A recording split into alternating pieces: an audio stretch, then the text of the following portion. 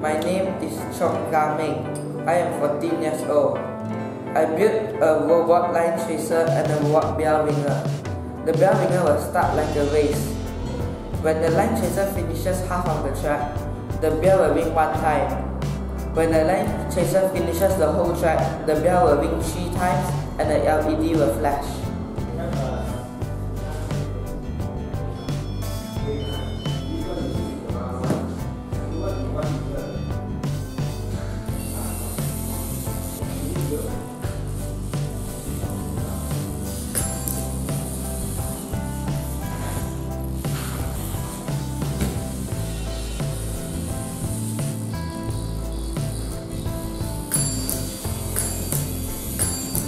I use a geared motor to control the hand to hit the bell when the robot passes. I also use an external IR sensor to sense the line chaser when it passes half of the track.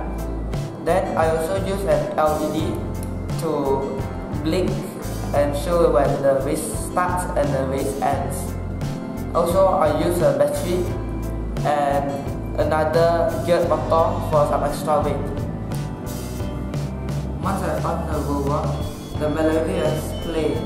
After the melody plays, the robot waits for my clap to activate the bass. The will blink and the control sound. Then the robot will move and after it goes half of the track, it will pass the external IR sensor and the bell will ring. Then it continues the track and when it finishes the track the bell will be hit three times and the LED will blink.